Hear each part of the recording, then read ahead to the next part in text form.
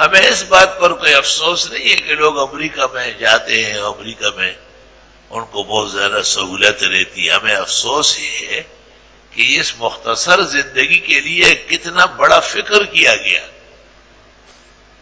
और किस कदर तनाव बर्दाश्त किया गया। इस वक्त पूरी दुनिया में अमरीके का काम जो है वो इस्लाम की बेखनी खुदा ताला उसकी बेख बुनियाद निकाले।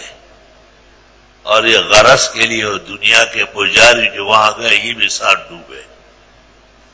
सिर्फ़ अमरीका ने तमाम कुफार मुल्कों का यही हाल है। और मसला सिर्फ़ मेरा नहीं होता, तमाम उलमा दुनिया में आबाद है। अल्लाह आबाद उशाद रखे। सब जानते हैं कि जिस जगह भी मोमिन का ईमान और उसके दीनी अमाल खतरे में हो, वहाँ खुशी से जाना और रहना सहना इख्तियार करना नारवा हराम ना जायज़। तो अब इस दौर में ऐसे लोग पैदा हो गए, या पहले भी होंगे हमें उनका मालूम नहीं है। हम तो अच्छे लोगों की तवारीख पढ़ते हैं, बुरे लोगों की तवारीख तो खाक हो जाती है। कि अपनी औलाद को ऐसी तालीम तरबियत देते जो अल्लाह और रसूल को भूल जाते अभी ऐसे कितने घराने हैं जो बाहर गए थे। बड़े टीस टपास और शोशा बना के, और फिर वहाँ पर शादियाँ हुई और वहाँ बच्चे पैदा हुए। और फिर वो नौकरी और वो काम काज आहिस्ता आहिस्ता खत्म हो जाता है, वो गैर लोगों को ज़्यादा जमने नहीं देते। तो इसने फैसला किया कि मैं वापस जाके अपने कराची में रहूँ, पाकिस्तान में हम वही के हैं। तो वो उस औरत ने अपने बच्चों को जमा करके कहा, उनके रिश्तेदार यहाँ मौजूद है, माफ़ी चाहता हूँ उनसे।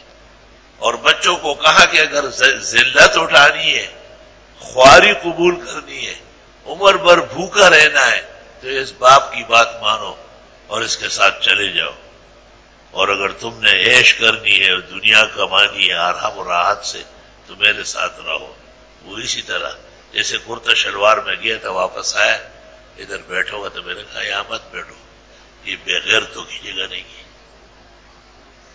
जब चाह रहा था, मैं मना कर चुका था।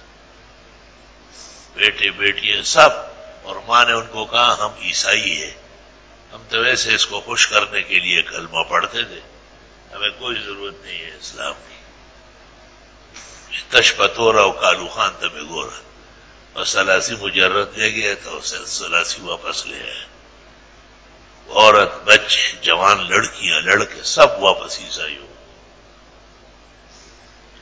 आपने इतने अरसे में ये फ़िक्र की थी कि ईमान के किसको कहते हैं, ये कैसे मुसलमान होंगे आप भी उन्हीं की तरह थे, जैसे वो थे।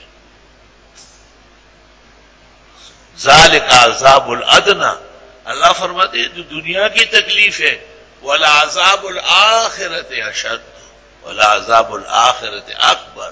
वो तो बहुत बड़ा अजाब है आखिरत का। अल्लाह ताला हिफ्ज अमान नसीब फरमाए।